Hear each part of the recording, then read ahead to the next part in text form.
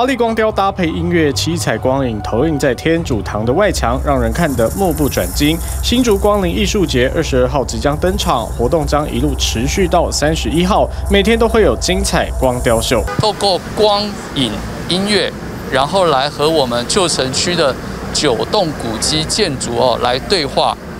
所以它是一个相当精彩的一个呃古迹光雕展哦，也是呃史上哦最大的一个古迹光雕展。将近一百组艺术团队和志工花了一年的时间设计筹备，包括新竹车站、周厅以及美术馆等等，一共九座古迹建筑物都会是这次的活动场地。活动期间，每天晚上六点都会上演精彩光雕秀，光影结合音乐，诉说台湾和新竹的故事。光线搭配音效，其实蛮震撼的。然后其实看到中间真的会起鸡皮疙瘩。串联九大古迹建筑，新竹摇身一变成为艺术之都，民众边散步边欣赏美丽光雕秀，感受当地艺术氛围。TVBS 新闻综合报道。